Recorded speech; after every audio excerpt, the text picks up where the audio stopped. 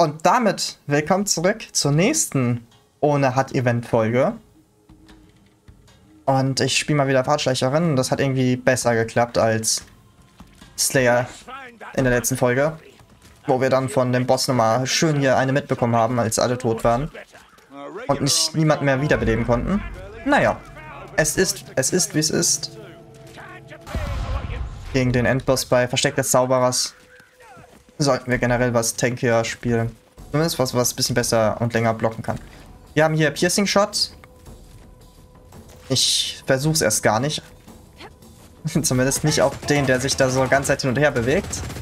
Und wir haben kein Zielkreuz, das ist perfekt.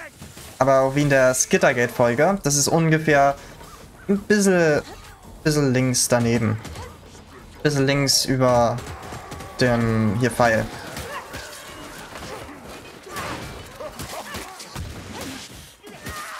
Okay. Deswegen sollten wir das hier auch ohne Probleme tun können. Okay, den Plague Monk haben wir jetzt bekommen. Ah, ich fand's toll, wie wir Chaos Warrior ohne, ohne Aim-Kreuz bekommen haben. Das war ziemlich gut. Und hinten kommen noch ein paar mehr. Müssen aber in Nahkampf gehen.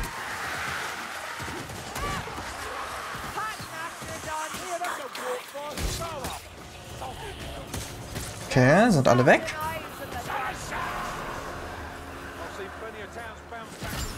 Okay, die müsste auch weg sein.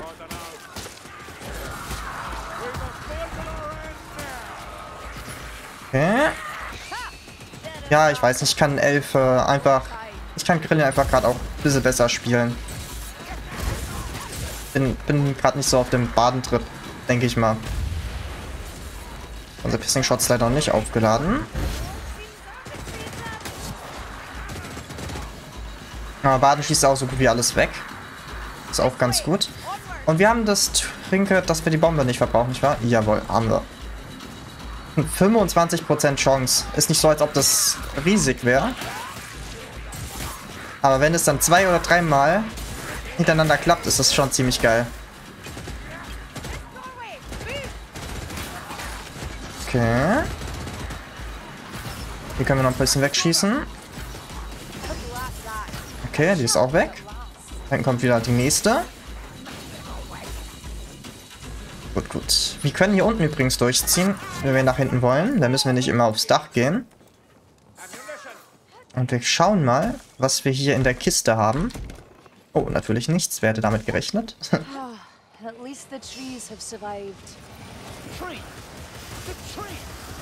hm. Immerhin haben die Bäume überlebt, das ist ja gut. Oh. Ja, ich habe gestern mit ein paar Freunden mal wieder beim Teil 1 gespielt und Krillin ist ja echt, im Gegensatz zum zweiten, da ja echt richtig lieb. die hatte gar keinen Hass auf die ganze Gruppe. So, ja, Tum ist, Tum ist mir egal, vielleicht ist in der Kiste was Interessantes. Okay, den müssen wir jetzt nicht mehr mit dem Piercing Shot töten. Bin mal gespannt, wenn wir gleich ein Monster bekommen, weil wir kommen jetzt zu einem Monster-Spawn. Ob wir dann auch gut mit dem Piercing Shot arbeiten können. Beim Stormfiend kann man extrem gut damit arbeiten.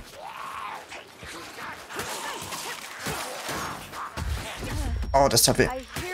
Wie hat uns das nur getroffen? Das war doch ungefähr einen halben Meter neben uns gewesen. Dankeschön. Wir haben gerade hier einen Trank zugesteckt bekommen. Okay, Gasratte sollte fertig sein.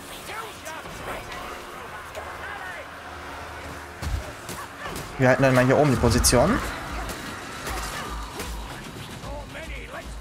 Und lass uns uh, so viel da, dazu da hochgehen.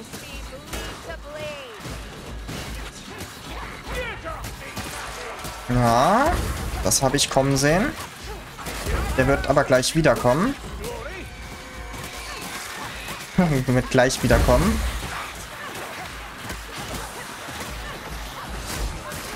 Okay.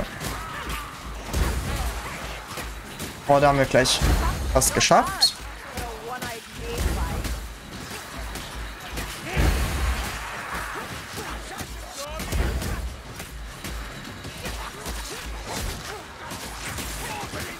Ich würde jetzt einen Piercing Shot nicht unnötig für den Assassin einfach reinschießen.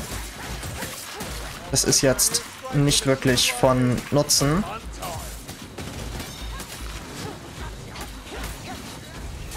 Wir warten lieber hier kurz ab, bis er kommt. Gehen aber hier lang. Um mal oben noch zu gucken, ob wir irgendwas Gutes bekommen. Eine Truhe ist natürlich nichts. Ich sehe aber auch keinen Kiosk, wo wir da irgendwo rumspringen. Und hier oben ist auch nichts. So, nee. Sehe hier nichts. Also keine großen zumindest.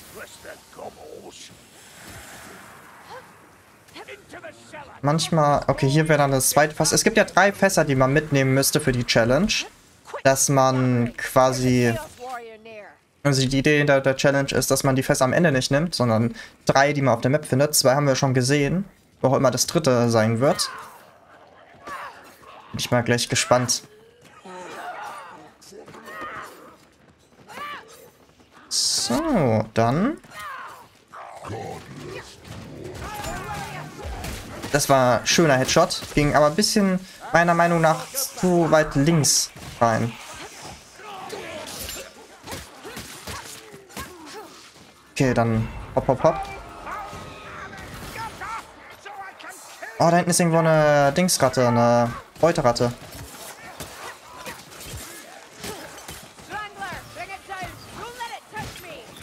Aber an den kommen, an die kommen wir wahrscheinlich gar nicht mehr. Ich renne mal hier raus, aber nee, da sehe ich gerade hier nichts. Natürlich hat er sich genau in dem Moment hier geduckt.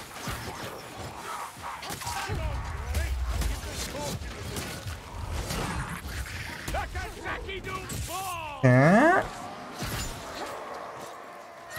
Hier mit schwer leicht ist man auch ein bisschen flotter unterwegs.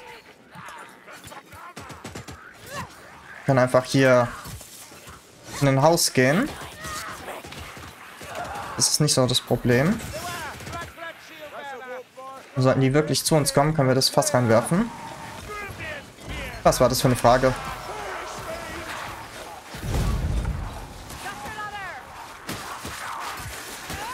Okay, die kriegen wir hier oben locker alle.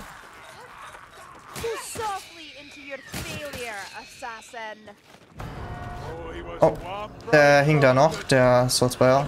Das tut mir ein bisschen leid. Aber wir nehmen seinen Heiltrank mit. Und geben ihn dann gleich mal wieder. Okay, wir haben unseren Piercing Shot bereit. Okay, so viel dazu. wir geben den Trank dann doch nicht zurück, denke ich, oder?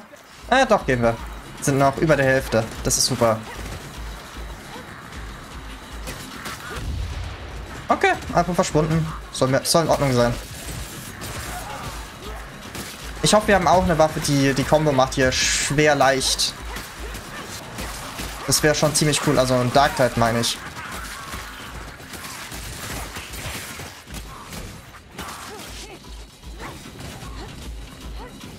Was übrigens auch sehr interessant war, als ich gestern mal Vermintide 1 gespielt habe, habe ich mal die Bihänder ausprobiert. Und ich war überrascht, die sind gar nicht so scheiße im ersten Teil. Die sind sogar richtig cool. Ja, der von Victor hat zumindest relativ Spaß gemacht. War nicht so extrem langsam wie im zweiten Teil. Hat aber kaum, also nahezu null Armor Damage gemacht. Das war ein bisschen das Traurige dran.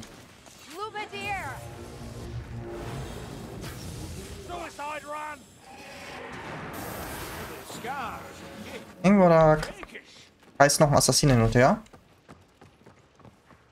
Weiß nicht, wo Victor ist. Leider. Aber dann trinken wir einfach den hier.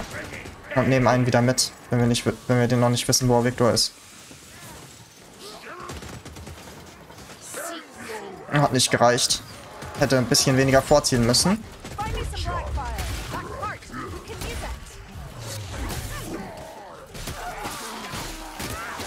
Okay, dann holen wir mal so gut es geht Victor jetzt hier. Müsste hier irgendwo ums Eck dann liegen. Oh. Hätte nicht gedacht, dass da noch einer hier gerade so neben mir steht. Aber ich muss sagen, in den Aufnahmen, die ich heute mache, stelle ich mich auch nicht so gut an. Da bin ich auf jeden Fall gerade nicht auf meinem Höhepunkt.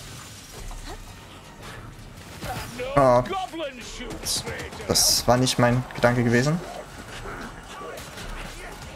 Ja, das ist halt auch wieder was, wenn man alle Spawns kennt.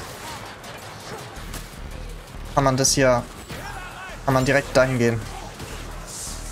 Okay, Baden geht für das Fass. Ich gehe für das Fass. Okay, Baden geht nicht für das Fass. Ich gehe für das Fass dann.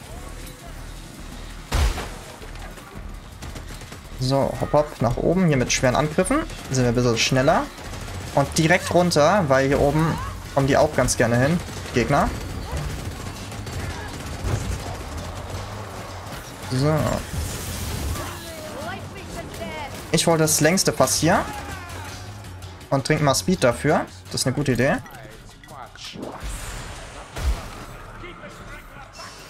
Vielleicht kriegen wir auch noch einen Trank hier unten. So viel Zeit müssen wir uns ja noch lassen. Und bekommen wir sogar. So, das wird vielleicht interessant, wenn wir gleich, nachdem wir hier draußen sind, noch einen ähm, Stormfiend oder so haben, gegen den wir kämpfen müssen. Oder einen Rattenogre. Das wäre ja auch möglich. Okay. Haben jetzt das dritte, letzte Fass. Perfekt. Und dann zünden wir auch mal direkt an und lassen den Wagen hier reinfahren. Ich glaube, im, im Spiel steht doch ähm, Jagd, Jagd die Kirche hoch oder irgendwie so.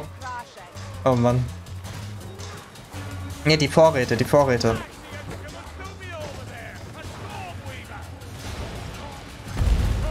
Boah. Ich, ich mag's. Ich mag das Spiel wirklich viel zu sehr.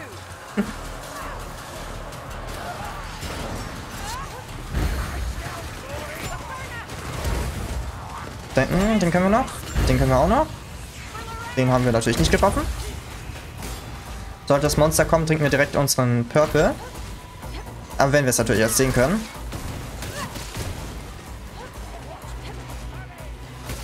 In der Skittertor-Folge haben wir... Au, au, das tut weh. Haben wir sogar ein Dinges mitgenommen gehabt. Ein Grimoire. Aber hier nicht. Ja, Victor hat nicht das Schild, was uns Leben zurückgibt. Das ist ziemlich unnötig, dass er uns den gibt, wenn wir eine ge geschlagen bekommen. Zumindest sieht es so aus. Hier, zweite Würfel. Eine Seite, noch eine Seite. Hier an der Seite ist keine Seite. Und das ist noch ein Überbleibsel vom ersten Vermintide. Wo man quasi hier äh, gewürfelt hat. Und da hatten die Beutewürfel, glaube ich, nur drei Augen gehabt. Also man hat 50-50% Chance gehabt, irgendwas zu bekommen. Und ja. Das. Das war's. So, wir heilen mal. Wir heilen mal den Zwerg. Und holen uns dann auch das eine Tum hier zumindest. Okay, zwei Leute, ein Gedanke. Ich hoffe, das ändern die auch in Darknet, dass wir nicht mehr gegen Gegenstände durchschlagen können.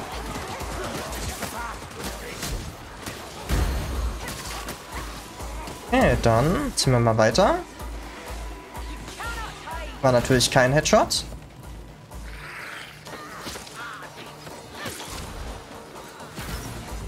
Ah, ich finde es das cool, dass man auch zwei Pfeile schießen kann, nachdem man hier ein paar im Nahkampf getötet hat. Also mit der Fähigkeit natürlich.